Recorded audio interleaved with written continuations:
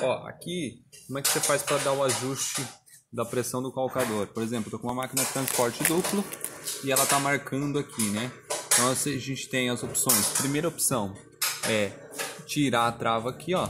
Eu tiro a trava e aqui, ó, eu solto a pressão dos dois calcadores, soltando esse maior aqui. Então eu tiro a pressão que ele tem aqui, ó, que ele força os dentinhos, fica marcando ali, ó, tá vendo?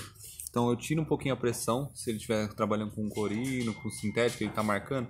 A primeira coisa, a opção que eu faço é tirar a pressão do calcador, girando nesse sentido aqui.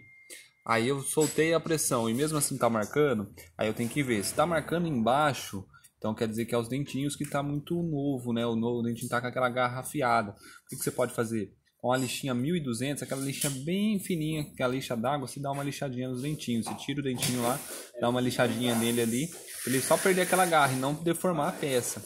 Depois disso, se ainda persistir, existem dentes de ponta de a ponta dele que é de teflon, é de plástico, né? E aí eles não marcam tanto o tecido. Aqui na nossa loja a gente não tem, mas em lojas de acessórios você encontra, tá bom? Esses dentinhos aí. Mas é isso que você faz quando estiver marcando o tecido, tá bom? No caso aí, aí você tira a pressão, dá uma lixadinha nos dentinhos, que aí resolve, tá bom?